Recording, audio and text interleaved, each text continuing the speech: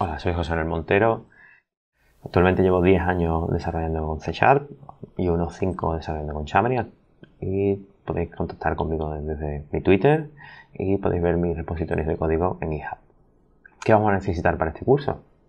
Vamos a necesitar una base de programación en cualquier lenguaje, simplemente que tengas esa, esa formación previa y también algo de C Sharp os recomiendo encarecidamente que vayáis al curso de C Sharp principiante que también se encuentra en esta plataforma.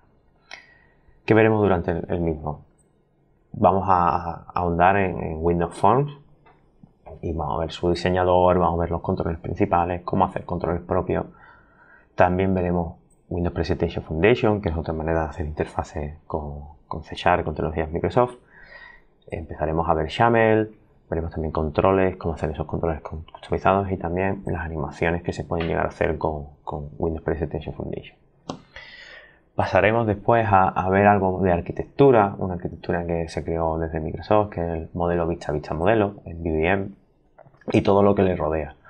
También veremos un framework en concreto de, de aunque veamos generalmente todos, pero principalmente el de UI, que está actualmente de moda.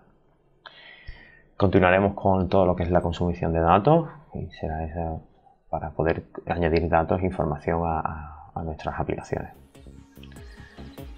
Hasta aquí esta información. Si queréis saber más, os recomiendo que pulséis aquí.